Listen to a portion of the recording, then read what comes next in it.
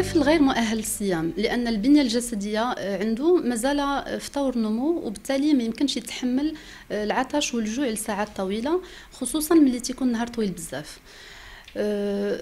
لهذا الطفل اللي صغير بزاف أقل من 8 سنوات ما خصناش نشجعوه نهائيا على الصيام. ملي تيبدا يقرب سن البلوغ ابتداء من العاشره تقريبا ممكن الطفل يصوم ولكن واحد العدد قليل ديال الساعات ويبدا يزيد تدريجيا حتى كيولي يقدر يكمل النهار كله. ولكن هذا الشيء كامل بمراقبة من الأهل.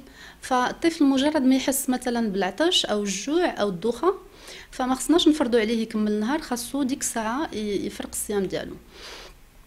وخصنا نراعيو التغذيه ديال الطفل فضروري ما يفيق يتسحر بطبيعة الحال. آه، وفي الفطور آه، نعوضوا له الماء والبروتينات السكريات وكل العناصر اللي محتاجها في النمو ديالو. آه، باش ما يكونش هذا فيه الصيام فيه تأثير سلبي على الصحة ديالو.